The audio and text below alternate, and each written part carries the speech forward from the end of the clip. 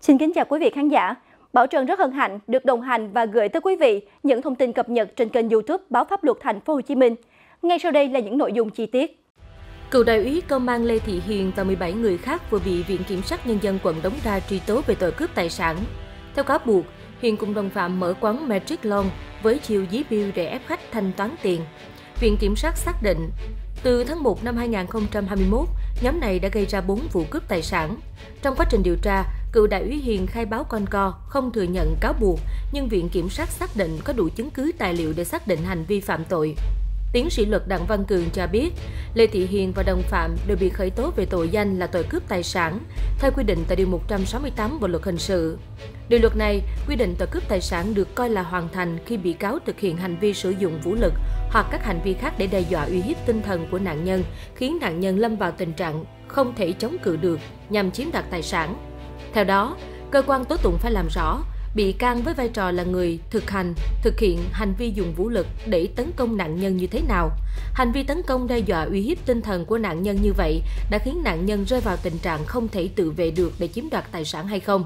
Cần lưu ý, trong trường hợp này, cơ quan điều tra khởi tố nhiều bị can về cùng một tội danh cướp tài sản, trong đó sẽ xác định ai là chủ mưu, ai là người thực hành, trực tiếp thực hiện hành vi phạm tội, ai tham gia với vai trò xúi dục, giúp sức, trong quá trình chứng minh tội phạm, cơ quan điều tra phải chứng minh hành vi của người thực hành thỏa mãn dấu hiệu của cấu thành tội cướp tài sản và chứng minh vai trò của những người khác là cùng ý chí thực hiện hành vi tội phạm với người thực hành trong vụ án này.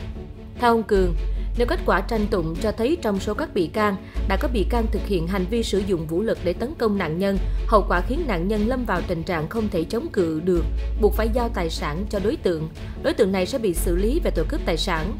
Các đối tượng khác nếu thỏa mãn có căn cứ cho thấy có cùng ý chí thực hiện hành vi phạm tội với vai trò chủ mưu, giúp sức xúi dục cũng sẽ bị xử lý hình sự về tội cướp tài sản với vai trò đồng phạm. Theo kết luận của cơ quan điều tra và nội dung cáo trạng cho thấy, phương thức thủ đoạn ép buộc khách hàng phải thanh toán tiền đã được các bị can thống nhất từ trước, hoạt động kinh doanh gian dối và chiếm đoạt tiền của khách bằng vũ lực cũng được các bị can thống nhất với nhau. Chính vì vậy, cựu đại úy công an Lê Thị Hiền dù không trực tiếp dí biêu ép khách hàng trả tiền, nhưng đã biết trước việc này và thống nhất với các bị can khác để thực hiện hành vi, nên Hiền bị truy tố về tội cướp tài sản là phù hợp. Trong vụ án này, cơ quan tố tụng xác định các bị can phạm tội nhiều lần với nhiều bị hại.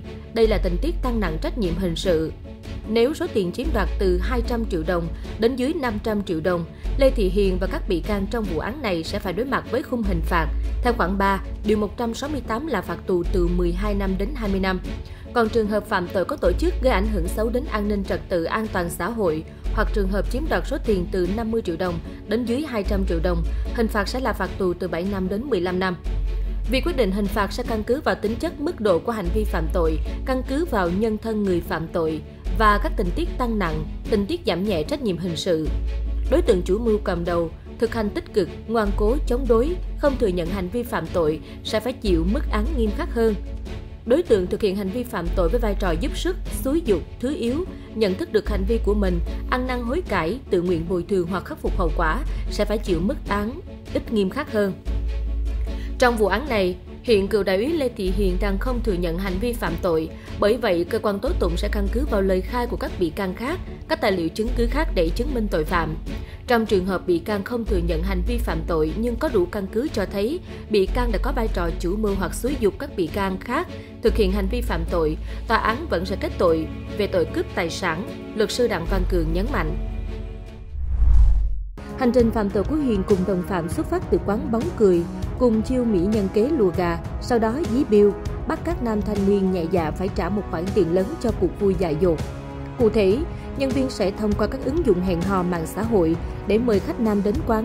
Sau khi gặp nhau, quán sẽ đưa nhiều đồ ăn, bia rượu, bóng cười lên, nhưng nữ nhân viên chỉ ngồi một lát rồi lén bỏ đi. Khách nam ở lại sẽ buộc phải thanh toán số đồ được đặt trên bàn. Để phòng khách phản ứng, Trang lập một đội bảo an là các nam nhân viên làm nhiệm vụ bảo kê, uy hiếp và thậm chí đánh khách nếu họ không chịu trả tiền. Cơ quan tố tụng làm rõ có 4 vị khách bị áp dụng chiêu dí bill buộc phải trả tiền. Vụ thứ nhất, rạng sáng mùng 1 tháng 4 năm 2021, Nguyễn Thị Minh Trang, Nguyễn Tiến Dũng, Hoàng Thanh Tùng, Lê Thành Đạt, Phạm Tuấn Thành, Nguyễn Phương Trang đã tham gia trực tiếp cướp tài sản của anh Hoàng Anh Đê, sinh năm 1990 tại Hà Đông, thành phố Hà Nội hơn 35 triệu đồng. Vụ thứ hai, đêm 13 tháng 4 năm 2021 và rạng sáng 14 tháng 4 năm 2021, Nguyễn Minh Trang, Nguyễn Tiến Dũng, Đinh Quốc Dũng, Hoàng Thanh Tùng, Nguyễn Phương Trang, Đỗ Hải Tuấn đã tham gia trực tiếp cướp tài sản của anh Trương Phát Tê, sinh năm 2002, thành phố Sầm Sơn, Thanh Hóa gần 20 triệu đồng.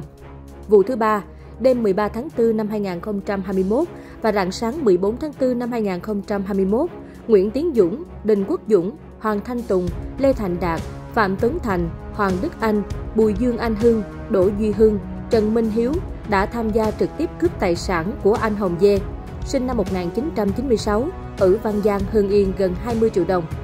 Vụ thứ tư, đêm 13 tháng 4 năm 2021, rạng sáng 14 tháng 4 năm 2021, Nguyễn Tiến Dũng, Lê Thành Đạt, Phạm Tuấn Thành, Nguyễn Phương Trang, Nguyễn Tài Nam, Nguyễn Đăng Hà đã tham gia trực tiếp cướp tài sản của bị hại Lê Xuân B, sinh năm 1997, Đồng Hưng Thái Bình, 9,4 triệu đồng. Cơ quan truy tố cáo buộc đây là vụ án đồng phạm, trong đó Vũ Anh Hoàng, Nguyễn Đức Thăng, Lê Thị Hiền, Nguyễn Minh Trang là những người chủ mưu, cầm đầu, chỉ huy việc thực hiện tội phạm. Các bị can khác là người thực hành tích cực trong vụ án. Tổng số tiền các bị can đã thực hiện hành vi cướp tài sản là hơn 84 triệu đồng. Theo cáo buộc của Viện Kiểm sát, năm 2019, Vũ Anh Hoàng, 31 tuổi ở Quảng Ninh, Nguyễn Đức Thăng, 30 tuổi ở Hà Nội, cùng Lê Thị Hiền góp vốn khoảng hơn 2 tỷ đồng để mở quán đồ uống bóng cười Magic Lon tại phố Tôn Đức Thắng, quận Đống Đa. Cả ba phân chia nhiệm vụ cho từng người, trong đó Hiền phụ trách quản lý, hậu cần, thu chi, giám sát hoạt động và đối ngoại. Lợi nhuận của quán sẽ chia theo tỷ lệ góp vốn của ba người.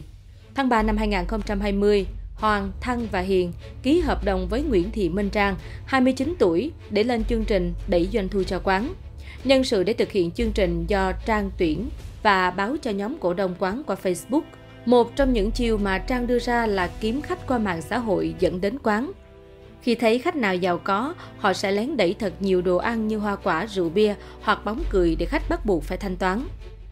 Để hoàn thành hợp đồng, Trang áp dụng cách thức dùng nữ nhân viên booking của quán lên các trang mạng xã hội Tinder, Badu để hẹn hò, làm quen, lôi kéo khách đến quán rồi đưa các dịch vụ của quán đồ ăn, đồ uống, bóng cười lên. Sau đó, nhân viên bỏ trốn để khách ở lại thanh toán tiền. Trang cũng cho thành lập đội bảo an gồm các nhân viên nam trong nhóm Booking có nhiệm vụ như đội bảo kê để đánh, ép khách hàng nếu không chịu trả tiền. Cách thức này trong quán gọi là dí bill. Trong tháng 3 năm 2021, Trang hoàn thành tất cả các mục tiêu ký hợp đồng nên nhóm cổ đông muốn ký thêm với Trang một hợp đồng mới với mục đích để Trang tiếp tục đem lại lợi nhuận. Tại địa chỉ 280 xã Đàn, Hoàng, Thăng và Trang đã thỏa thuận thống nhất nội dung khoán cho Trang chạy doanh thu cho quán trong 3 tháng và Trang sẽ được hưởng lợi phần trăm theo doanh số cụ thể mà cả nhóm đưa ra. Trang nói với Hoàng và Thăng, nếu chỉ tiêu doanh số cao như vậy sẽ phải đẩy mạnh áp dụng hình thức dí biêu. Trang sợ nếu làm mạnh sẽ liên quan đến pháp luật.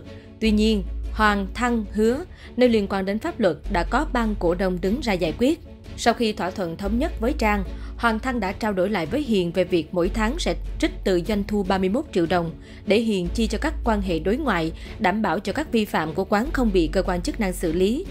Về phần mình, để đảm bảo doanh số như thỏa thuận, Trang yêu cầu các nhân viên booking nữ dùng các ứng dụng hẹn hò trên mạng xã hội, làm quen với khách nam rồi lôi kéo đến quán. Trước khi khách đến, nhân viên booking sẽ gọi đồ, bày sẵn ra, sau khi khách đến chơi được một lúc, các nhân viên booking sẽ bỏ trốn để lại khách. Tiếp đó, nhân viên của quán sẽ bắt khách phải trả số tiền này. Nếu không có tiền, khách phải để lại tài sản. Khách nào không chịu trả tiền, sẽ có các nam nhân viên ra nói chuyện, đe dọa ép trả tiền, ép để lại tài sản có giá trị. Cáo buộc cho rằng, với mô hình hoạt động như trên, các bị cáo đã thực hiện 4 vụ cướp tài sản của khách tại quán. Theo luật sư Trương Quốc Hòe, đoàn luật sư thành phố Hà Nội cho biết, Trước khi nói về chiêu dí bill, phải làm rõ bill là gì. Bill thực chất là hóa đơn để thanh toán, là một danh sách có liệt kê hàng hóa hoặc dịch vụ mà chúng ta đã sử dụng. Cùng với đó là số tiền chúng ta phải trả cho mỗi món hàng hóa và tổng số tiền mà chúng ta phải trả. Luật sư Hệ cho biết hiện nay chưa có khái niệm cụ thể về hành vi dí bill, nhưng có thể hiểu dí bill là hành vi ép buộc hoặc đánh đập để ép người khác phải trả tiền cho món hàng hoặc dịch vụ mà người đó không sử dụng. Ví dụ như trong vụ cựu đại úy Lê Thị Hiền, khi có khách đến quán Magic lon sử dụng dịch vụ, nếu thấy khách có tiền, nhân viên sẽ tìm cách đẩy thêm đồ ăn, hoa quả, rượu bia và bóng cười, rồi ghi thêm vào bill. Mục đích là ép khách phải thanh toán tiền. Nếu không trả, đội bảo kê sẽ đánh khách. Hình thức này được gọi là dí bill.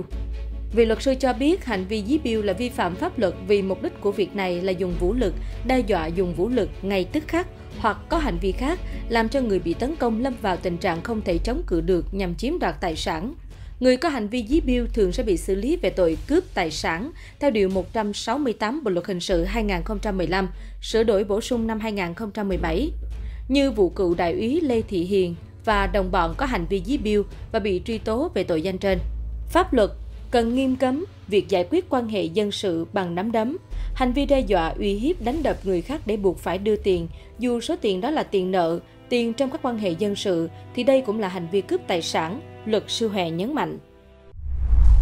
Cựu đại úy cảnh sát giao thông Lê Thị Hiền sinh năm 1983, trú tại quận Cầu Giấy, Hà Nội, người từng gây náo loạn tại sân bay Tân Sơn Nhất.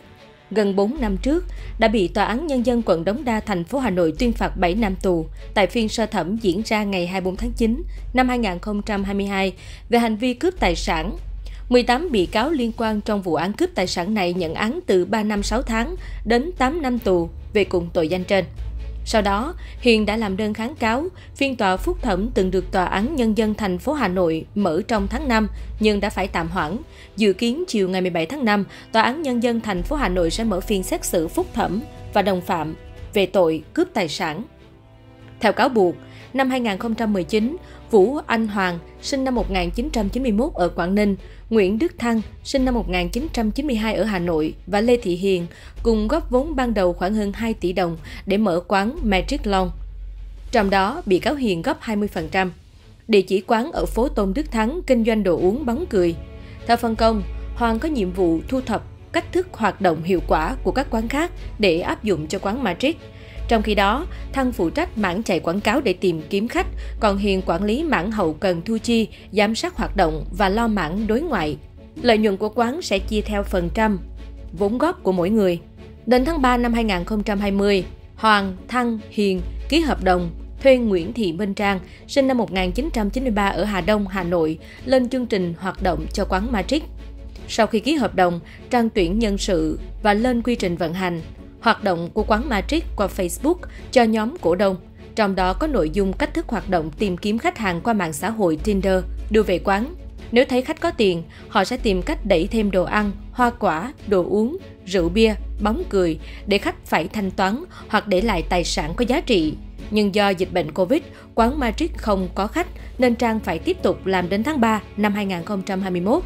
Những thông tin vừa rồi cũng đã khép lại chương trình của chúng tôi. Cảm ơn các bạn đã quan tâm theo dõi và đừng quên, chúng tôi luôn cập nhật rất nhiều thông tin mới nhất ở tất cả các khung giờ trong ngày. Xin kính chào tạm biệt và hẹn gặp lại.